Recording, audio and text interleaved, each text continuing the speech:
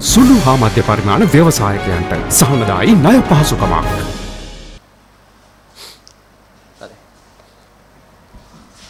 මම සුදේශ් නන්දිමාල් සිල්වා සිරකරු අයිතිවාසිකම් සුරැකීමේ කමිටුවේ අධ්‍යක්ෂක මණ්ඩල සභාපති 2023 11 වෙනි මාසේ පළමුවෙනි දින ඩුබයි රාජ්‍යයේ ඉඳන් ලංකාවට තරුණයෙක් ආවා. ඒ තරුණයා තමයි රොෂාන් චතුර්ක කියලා. මේ තරුණයා ලංකාවට ආව වෙලේ කටුනායක ගුවන් තොටුපළේ සිටින අපරාධ පරීක්ෂණ දෙපාර්තමේන්තුව විසින් අත්අඩංගුවටගෙන වැඩිදුර විමර්ශන සඳහා STF එකට බාර දෙනවා. රාජගිරිය පිහිටි STF කඳවුරේ CI නදීක සිල්වා කියලා නිලධාරියෙක්ට තමයි බාර දෙන්නේ. අනතුරුව මේ නදීක සිල්වා කියන පුජ්‍යලයා මොව්ව බාර අරගත්තම අපිට සිද්ධ වෙනවා චතුර්කගේ නිවසියන් විසින් අපිට පැමිණිලි කිරීම අනුව අපිට දැන්නුවා මේ චතුර්ක කියන පුජ්‍යලයාව ආගියතක් නැහැ මෙයා කොහේ ඉන්නවද කියලා අපි දන්නේ නැහැ අපිට උදව් කරන්න මෙයාව සොයා දෙන්න කියලා. ඒ අනුව අපේ සංවිධානයේ ප්‍රධානියා වන නීතිඥ සේනක පෙරේරා විසින් කටුනායක ගුවන්තොටුපොළේ අපරාධ පරීක්ෂණ දෙපාර්තමේන්තුවට එහි තිබෙ සිටින අපරාධ පරීක්ෂණ දෙපාර්තමේන්තුවට කතා කරලා අහනවා මෙයාට මොකද වුනේ මෙයාව කොහෙටද ගිනුනේ කියලා. ඒ අනුව අපිට දැනගන්න ලැබුණා මේ රොෂාන් චතුර්කව STF එකේ CI නදීකට නදීක සිල්වා කියන පුජ්‍යලයට බාර දුන්නා කියලා. ඒ අනුව තමයි අපි රාජගිරියේ පිහිටි STF ඒ කඳවුරට අපි ගිහිල්ලා අහනවා. අපේ නීතිඥ සේනක පෙරර මහතා ගිහිල්ලා අහනකොට එතනින් කියන්නේ එහෙම අපි දන්නේ මෙහෙට එහෙම අය ගේන්නේ නැහැ කියලා. පසුව අපි යනවා මේ පළවෙනිදා අපි යනවා පසුව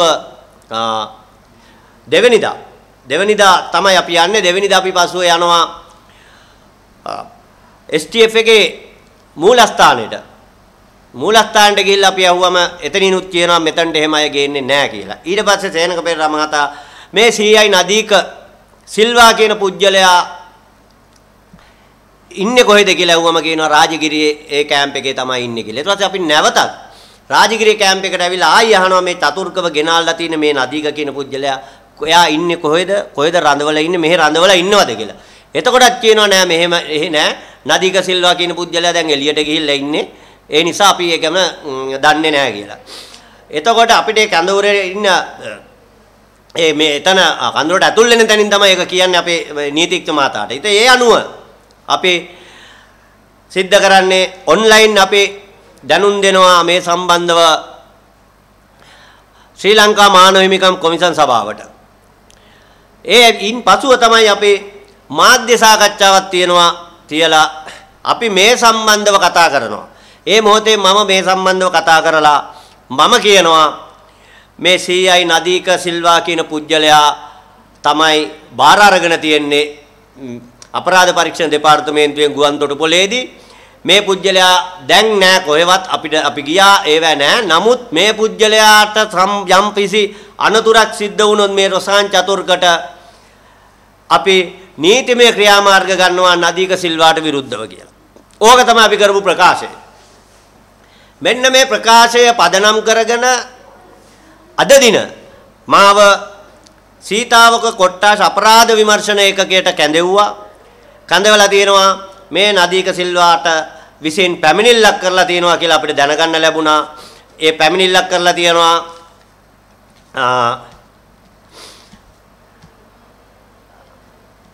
පැමිණිල්ල කරලා තියෙන්නේ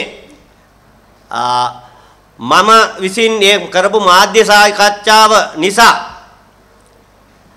සාප ඒ මාධ්‍ය සාකච්ඡාව තුළින් සාපරාධිත බියවැද්දීමක් සිද්ධ කරා මේ නදීක සිල්වාගේ පවුලේ සමාජිකයින්ගේට ජීවිත තර්ජනයක් වෙන්න පුළුවන් මේ සිද්ධ මේ මම කරපු මාධ්‍ය සාකච්ඡාවේ කියලා.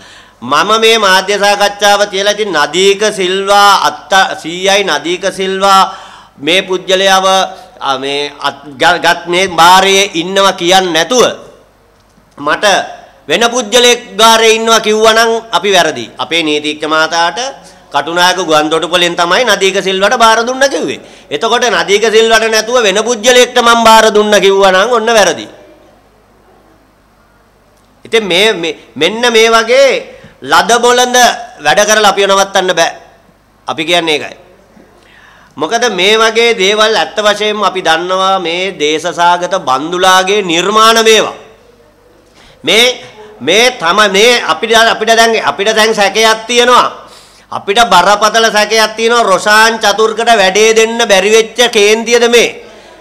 අපි නිසා රොෂාන් චතුර්කට වැඩේ දෙන්න බැරි වුණා. බැරි වෙච්ච තැන දැන් මේගොල්ලෝ මෙන්න එනවා මේගොල්ලෝ මේ විදියයි අපිට තර්ජනය කරනවා මාධ්‍ය සාකච්ඡා තියලා මේ තර්ජනය නෙමේ මේ තර්ජන නෙමේ අපිට STF කැම්ප් එකෙන් කිව්වනම් ඔව් මෙහෙට ගෙනාව. නදී මේ නදී නදීක සිල්ලා තමයි ගෙනාවේ. මෙහෙමයි. ඔව් කියලා නම් අපිට ප්‍රශ්නයක් නෑ අපි දන්නවා මෙතන ඉන්නේ කියලා.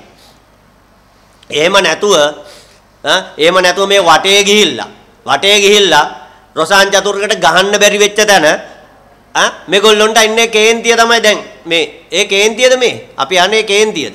ඒ නිසා මේ වගේ දේවල් කරනවා කරලා ඇත්ත වශයෙන්ම අපිව නවත්තන්න බෑ. අපිව නවත්තන්න හිතන්නවත් එපා. මොකද ඔයගොල්ලෝ දන්නවා හොඳටම මේ මේ සිදුවීම් මෙහෙම වෙනකොට ඔයගොල්ලෝ හොඳටම දන්නවා. අපි දන්නවා මෙයාලා ඉන්නේ කොතනද කියලා. ඈ? අපි අපි මේ වෙනකොට මේ වෙනකොට අපි නීතිමය ක්‍රියාමාර්ග ගන්න ලෑස්ති වෙලා ඉන්නවා. මේ වෙනකොට අපි නීතිමය ක්‍රියාමාර්ග ගන්න ලෑස්ති වෙලා ඉන්නවා.